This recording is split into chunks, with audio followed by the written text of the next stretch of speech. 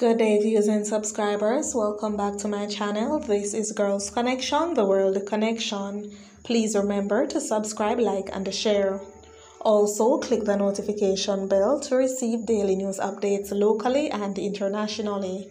Suspect held after submachine gun and ammo bagged in Vietnam St. James. A man is to face a court to answer to charges of illegal possession of firearm and illegal possession of ammunition. The weapon and ammunition were found during a joint police military operation on Merv Lane in Vietnam District, St. James, on Wednesday, November 4.